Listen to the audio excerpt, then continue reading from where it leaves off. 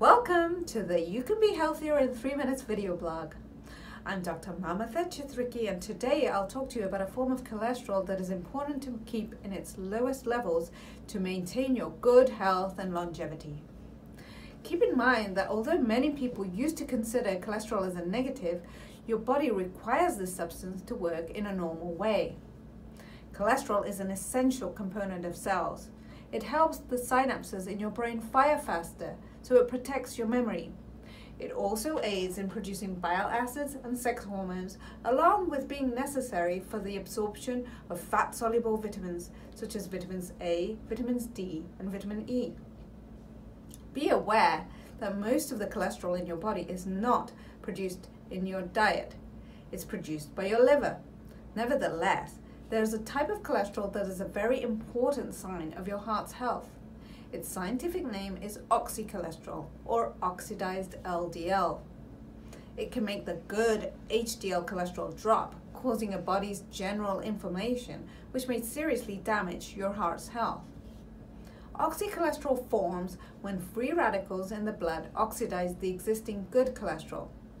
As this oxidized LDL cholesterol develops, it can seriously impact the health of your arteries. So the actual important cholesterol amounts is not your total cholesterol, but your degree of oxidized cholesterol that typical cholesterol tests do not look for.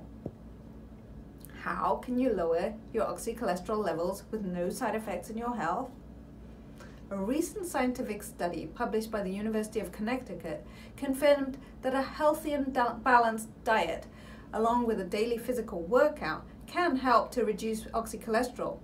But you can help your liver to metabolize or burn up the extra LDL cholesterol with a substance called policosanol.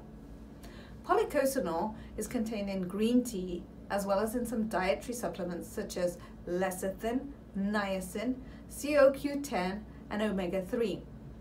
Policosanol in green tea helps to block the bad cholesterol from being absorbed into the blood and digestive tract. It also increases its excretion from the body. Policosanol also can be found in substances such as sugarcane and other plants such as wheat and is commonly used for crampy leg pain due to poor blood circulation, a condition called intermittent claudication, as well as to decrease the narrowing of the blood vessels that serve the heart. Just 5 milligrams of policosanol twice a day can lower bad cholesterol up to 27% and serum triglycerides by 16%. At the same time, it increases the good cholesterol in your body by almost 14%. Isn't that a great deal for your cardiovascular numbers?